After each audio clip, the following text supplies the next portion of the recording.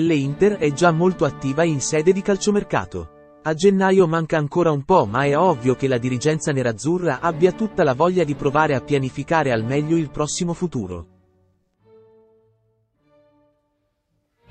Il senso è molto chiaro. A gennaio potrebbe arrivare qualcuno ma qualcun altro potrebbe partire e allo stesso tempo, la prossima estate, sono attese delle novità abbastanza significative rispetto alle mosse che il club nerazzurro pare intenzionato a portare a termine. Calciatori come Lautaro Martinez dovranno essere blindati e qualche rinforzo, dall'attacco alla difesa, bisognerà portarlo a casa. In questo senso, le novità che abbiamo raccolto nella nostra raffica, sono abbastanza chiare e importanti. E raccontano molto bene lo stato delle cose. Tra le altre, ci sono news interessanti su un nome che Marotta adesso avrebbe messo in cima alla propria lista. E allora, iniziamo subito scorrendo la raffica e iniziando dalla prima. La prima notizia del giorno riguardante L Inter ed il calciomercato è su Samarzic. Stanno tornando a circolare delle voci che vorrebbero i nerazzurri intenzionati a puntare su di lui. Di nuovo, noi siamo qui per dirvi che dalle indiscrezioni che abbiamo raccolto, le possibilità sono praticamente pari a zero. L'agente di Lazar Samarzic torna anche su quanto accaduto in estate con l'Inter. Ecco le parole di Karsten Rickard a Sport Italia. Prima di tutto, l'Europeo rappresenterà una pietra miliare per lui e la sua famiglia, soprattutto perché è ospitato dalla Germania, dove è nato e cresciuto. Un grande torneo è sempre stato il suo sogno, ecco perché ha scelto di giocare per la Serbia.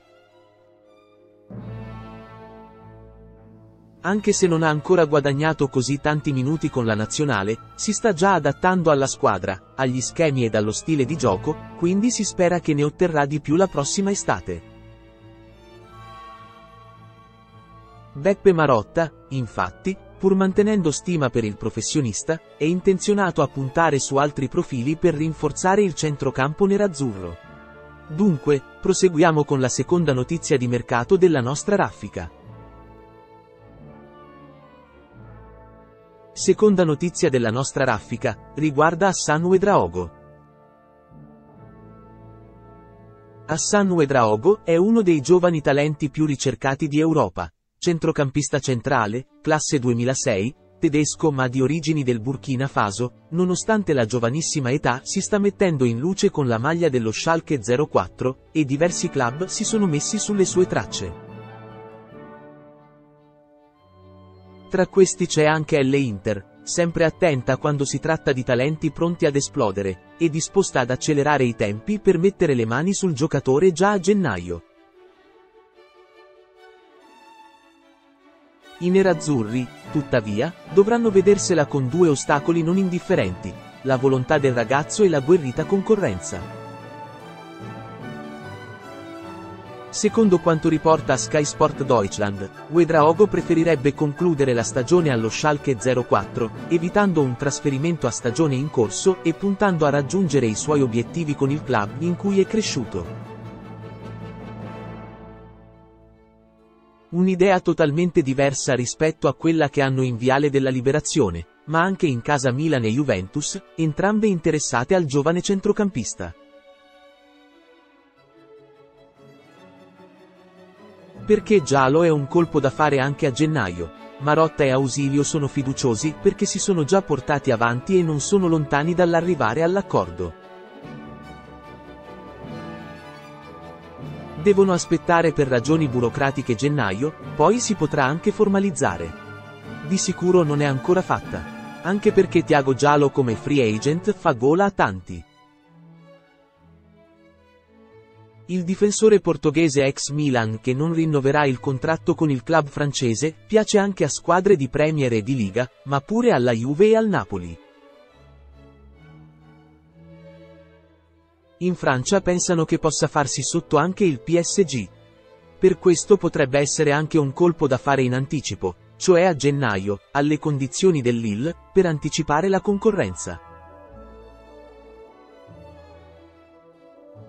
Pare che Marotta abbia già deciso di offrire a Tiago Giallo un contratto da 2,5 milioni circa.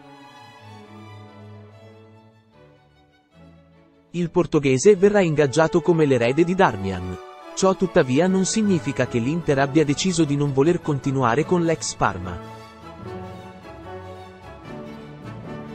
Il contratto di Darmian, in scadenza a giugno 2024, verrà automaticamente prolungato di con un altro anno di accordo fino al 2025, e non è da escludere un rinnovo formale.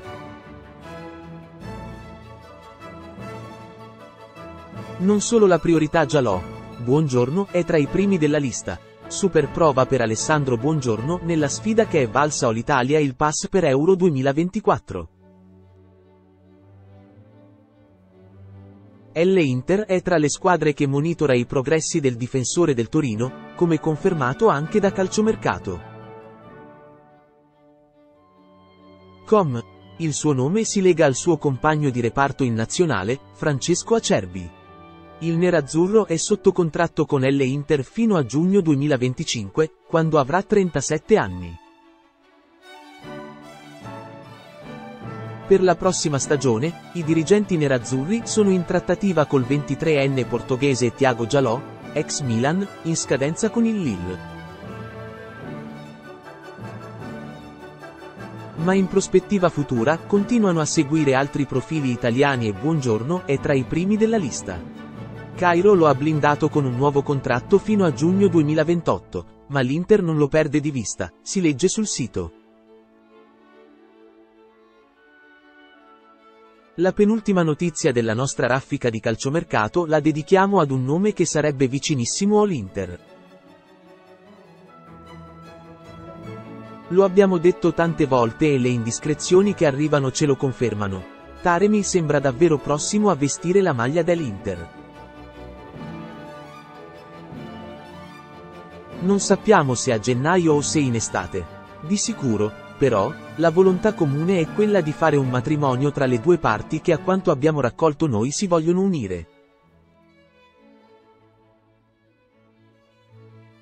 Taremi vuole L Inter, L Inter vuole Taremi. E per quanto questa possa sembrare solo una piccola voce di calciomercato, noi vi assicuriamo che le cose stanno così. E ora, chiudiamo la nostra raffica con l'ultima notizia di mercato sull'Inter. L'ultima notizia della nostra raffica la teniamo per parlarvi di Scalvini. Un giovane gioiello italiano in cima alla lista dell'Inter per presente e futuro. I dirigenti nerazzurri ragionano attentamente in ottica mercato, ecco quanto evidenziato da calciomercato. Com su una pista per la difesa di Simone Inzaghi. Giorgio Scalvini è un nome che nelle idee di Beppe Marotta e Piero Ausilio rappresenta il profilo ideale per il futuro. Giovane, già più che rodato in Serie A e di ottima prospettiva. Una trattativa complessa, date le pretese dell'Atalanta che, forte di un contratto fino al 2027, difficilmente si accontenterà di una cifra lontana dai 40 cinquantesimi di milione per lasciar partire il proprio gioiello.